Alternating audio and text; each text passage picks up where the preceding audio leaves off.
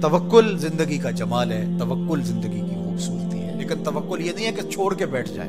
توکل کا مفہوم یہ ہے کہ حضرت انس صدی اللہ تعالیٰ عنہ سے ہے کہ گھٹنا بھی باندھو اور اللہ پر توکل بھی کرو۔ اونٹ کا گھٹنا باندھو، سائیکل، موٹر سائیکل کھڑی کی ہے، اس کا تالا لگاؤ اور پھر اس کو اللہ کے سپرد کر کے آ جاؤ۔ لیکن اگر آپ گاڑی کھلی چھوڑ کے آ جاتے ہیں، اونٹ کو، گھوڑے کو کھلا چھوڑ کے آ جاتے ہیں اور کہتے ہیں میں اللہ پہ بھروسہ کیا، یہ توکل کے منافی جو اسباب ہیں، ان کو پورا کرو۔ اسباب کو پورا کرنے کے بعد آگے سپرد اللہ کے کرو تمہارے لیے کافی